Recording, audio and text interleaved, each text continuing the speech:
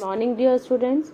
Today we will be going through your practical sheet which is landscape to be made through watercolors on sheet.